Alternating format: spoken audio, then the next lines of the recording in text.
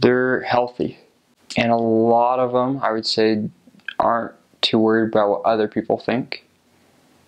For example, working out in the street, not like in the actual street, but like on the sidewalk, is a common thing that I saw. You know, you'd see an older person, you know, waiting for a light, and instead of just standing there waiting, they they're doing push-ups on a bench, and I was just like, well, okay, like I'll join you next time. Um, so they're very healthy. They have a lot of those type of parks where you can work out at.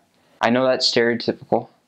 The, a lot of people think oh, Asians, oh, they're smart at math and science, and it's true.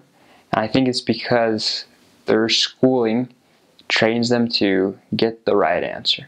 Calculators, I'm sure they wish they could use them, but they don't.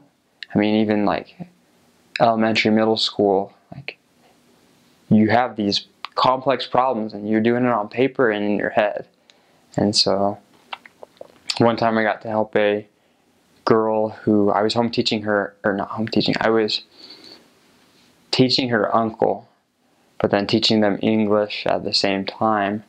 And one day I just realized she was very like worried about something and busy and I was like, whoa, what is it? Can I help? And she goes, pulls over her math book and I look at it and I go, I can do math, but this is in Korean.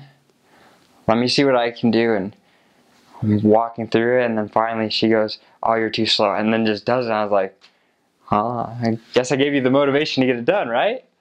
So they're very good at that. As far as education, they like to go to school. And it's not like public schools here where you go to school and you get home and you mess around for an hour or two, do a little bit of homework, and then you go hang out with more friends or family. Um, it's you go to school, then after school, you go to academies that are teaching uh, martial arts, music, more math, magic, you know, and you go and you learn more and more. And I, I knew kids who would go to school early in the morning, like six or seven, they're at school, and then they'd get home at about 10 at night. You know, and that and they were doing stuff the whole time, just scheduled out. So like, I think that's where a lot of their work ethic comes from, because they're just forced to do so much. They're always wearing their uniforms, which is funny because you can tell what grade or what school people go to because they're walking down the street with all their friends and they're all wearing the exact same thing. And they all have their names like embroidered right here. And so you have your missionary name tag and they have their names and you're walking by and you're like, oh, that kid looks like he's the, the cool kid of the crowd. And I just like say the name. I was like, oh, how you doing? And they're like, I don't know you. And then they notice my name tag and they're like, oh, I'm doing good. So and so.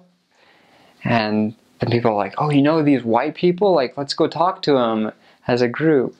So they stick together as far as uh, their age groups go. And yeah. Koreans are probably also the nicest people I've met. I feel like sometimes if people are learning English, uh, other people aren't as nice to them, and if they don't speak it well enough, they're like, "Come on, learn English. You you know you're in America." But when you're going over there and you're learning Korean, and it's it's not an easy language. It's difficult, um, but achievable. And the people there are so kind. They want to help you learn Korean.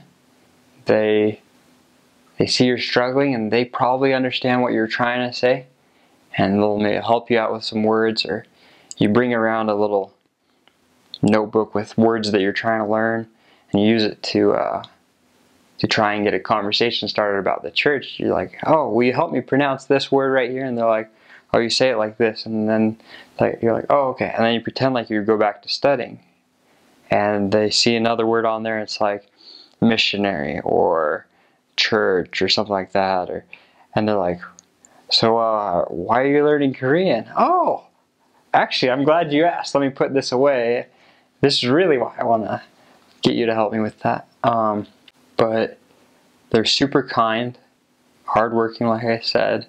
They're very open to the Spirit. They're very in tune with it, I would say. And a lot of them can feel it and they notice a difference when you're talking with them and when you're not there. There's not really a personal space bounds. Uh,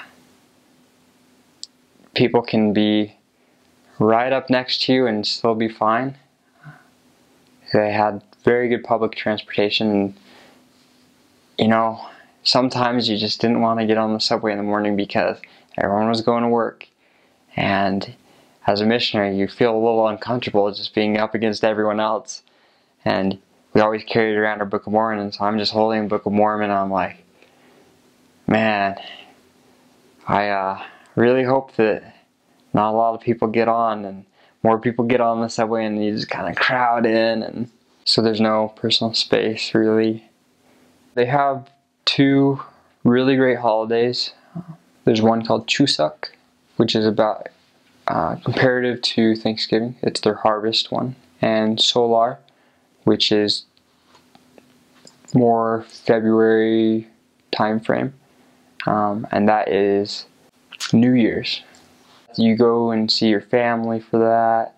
There's a part where you you bow a specific way, you get on this knee and then that knee, and you bow down with your hands like on the ground, and then your elders or your uncle or something, they pay you money for your bow.